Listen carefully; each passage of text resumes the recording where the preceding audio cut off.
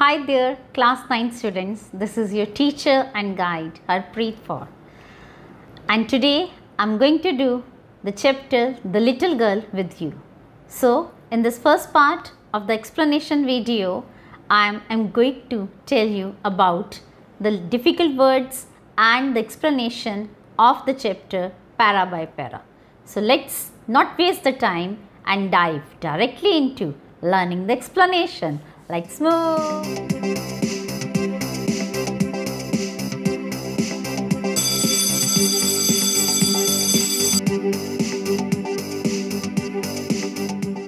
To the little girl, he was a figure to be feared and avoided. Every morning before going to work, he came into her room and gave her a casual kiss, to which she responded with, Goodbye, father. Oh, there was a glad sense of relief when she heard the noise of the carriage growing fainter and fainter down the road. So, here in this uh, paragraph, we have come to know that there is a little girl who is quite fearful of her father and she avoided his father whenever she could. So, as their daily routine is every morning his father used to come her and gave her a casual kiss. Okay, he used to give her a casual kiss and she also responded by saying goodbye father. So, uh, some like uh, there was less happiness there this relationship between the girl and the father is not quite happy one so the words uh, used in this paragraph are telling us the casual kiss okay and responded with goodbye okay. And then the last line tells us that the child was feeling happy when the father went out. The words fainter and fainter down the long road means that the noise of the carriage was reducing or diminishing. So the girl had a glad sense of relief okay when she saw her father going out and the carriage is far away from their house so she felt she felt relief and then she was uh, i mean this is what is told about in this paragraph in the evening when she stood near the staircase and heard his loud voice in the hall. Bring my tea into the drawing room. Hasn't the paper come yet? Mother, go and see if my paper's out there and bring them, bring me my slippers. So in the evening, uh, father generally comes at home and keep instructing the mother gives used he used to give orders to the mother to bring slippers to get the paper or getting the tea etc so uh, in the evening also this uh, the daily routine of father is discussed here in the morning he goes and in, uh, goes and just give a casual kiss on the fo on the forehead of the girl and when he comes back he is again a little authoritative so, this is what discussed now in this paragraph. Now, let us proceed towards paragraph 2. Kezia, mother would call to her, if you are a good girl, you can come down and take off father's boots. Slowly, the girl would slip down the stairs more slowly still across the hall and push open the drawing room door. By that time, he had his spectacles on and looked at her over them in a way that was terrifying to the little girl. So, as mother instructed her to remove the remove father's shoes, so she could not say no, but she was quite afraid of coming down. Uh, and she gradually slips to the hall and she moves to her father. And when she has reached when she generally reaches uh, her father her father is uh, has started reading the newspaper and with his spectacle he is wearing the spectacles. His spectacles on here stands for wearing of the spectacles. And now for her the when father is putting on the spectacles he looked more terrifying to her. Well kezia hurry up. Pull off these boots and take them outside. Have you been a good girl today?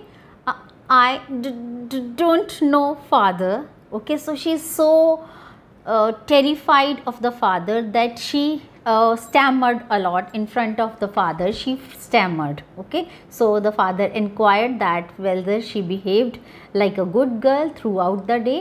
The reply of kezia was not quite prompt. She hesitated. She was terrified in her reply and she stammered in front of her father.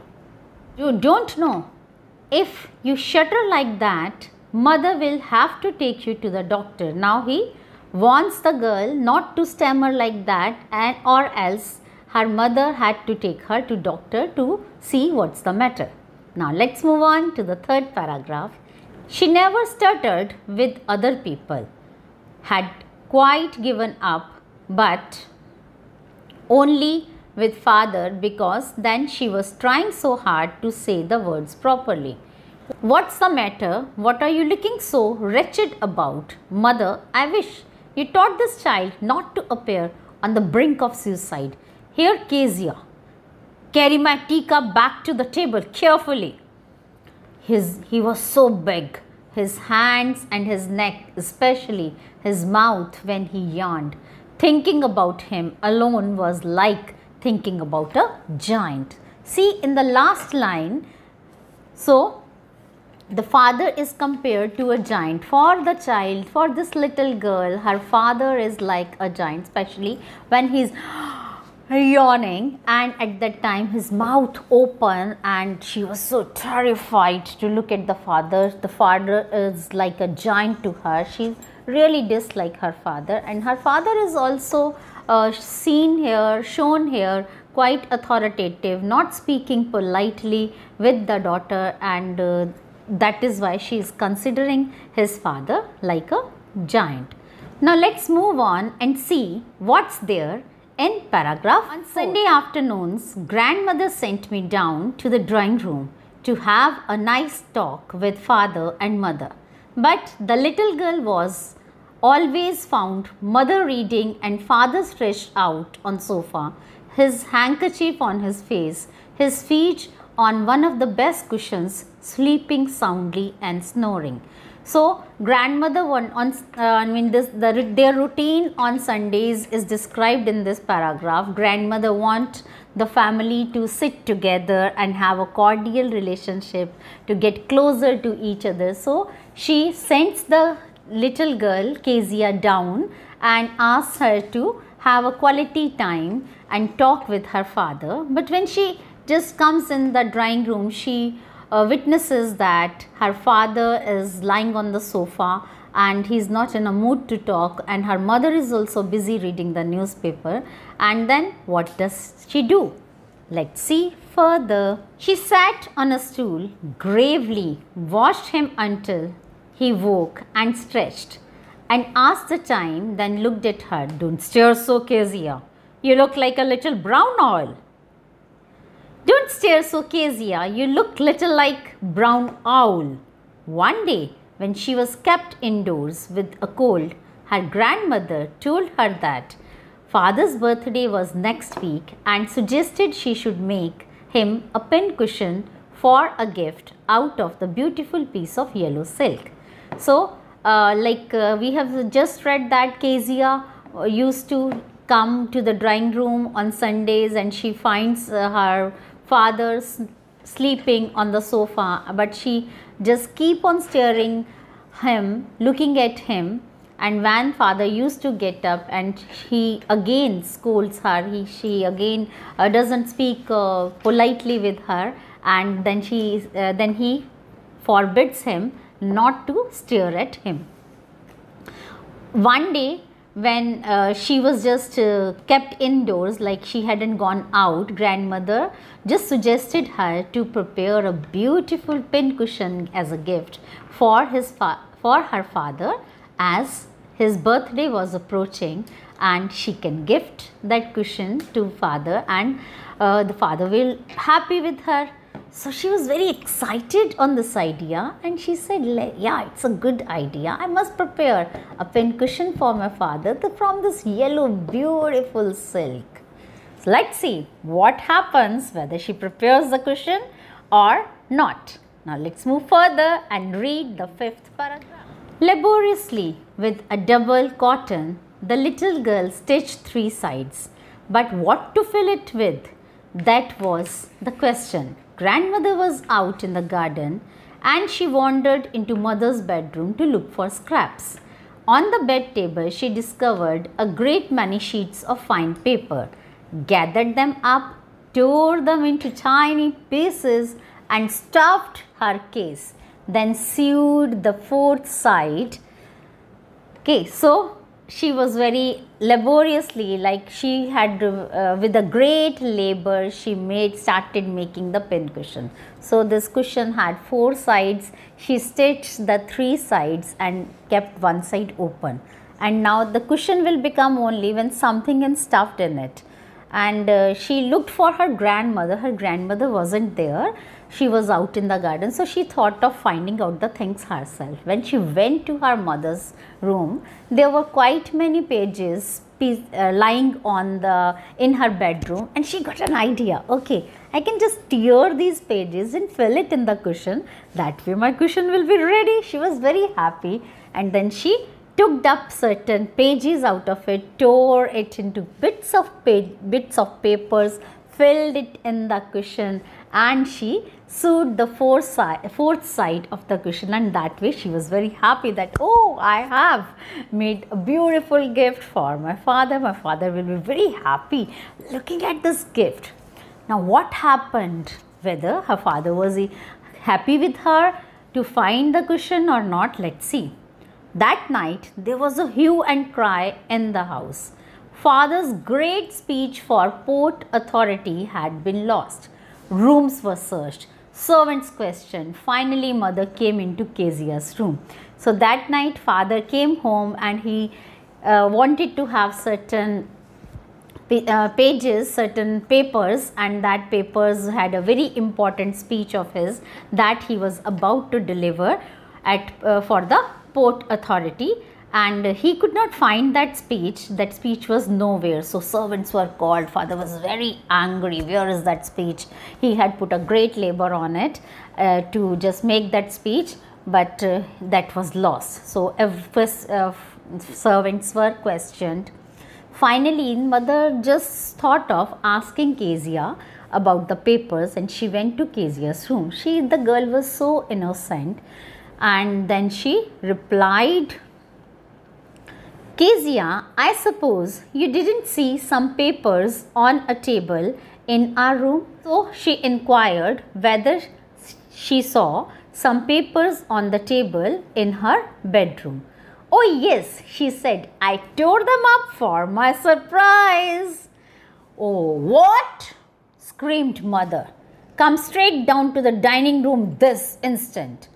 So very innocently, Kezia replied, Yes, Mama, I have torn it to make to, uh, to fill it in the pin cushion for my surprise that I have for my father.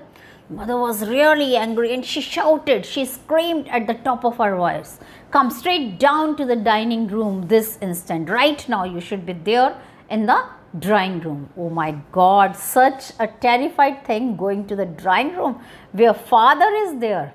And then she dragged down to where father was pacing to and fro hands behind his back. Okay father was in a really angry mood. He wasn't uh, getting the papers and then pay, those papers were very important for him. And mother just uh, dragged her down brought her down to the drawing room where father was moving from one place to another place to and fro and he was really in an angry mood. He was dragged down to where father was pacing to and fro, right hands behind his back. Well, he said sharply, mother explained. Father was really surprised was why this girl is brought down and then mother told him each and everything what happened uh, what has she done with the papers. He stopped and stared at the child. Did you do that? No, she whispered. Mother got up to her room.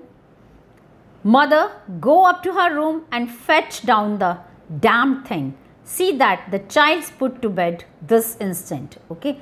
So he was so angry. He asked the same question to her whether she has done that or not. And again, she got really terrified and she started stammering. And then father instructed mother to take her back to the room and get those papers, whatever she has done to that paper, get those paper immediately downstairs and make her sleep immediately. So this is what happened so her surprise was completely a disaster. Instead of making the father happy, she made her father dissatisfied and unhappy. That's all in this part of the explanation video of the chapter Little Girl. Let's see in the next part whether the girl and her father came in terms with each other did they enjoy with each other? Did they come to the talking term?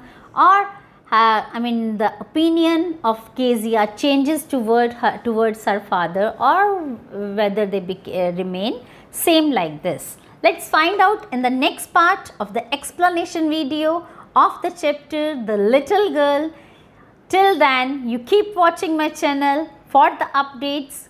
Click the bell icon and don't forget to subscribe to my channel if you haven't subscribed yet. There's lot more to come in future.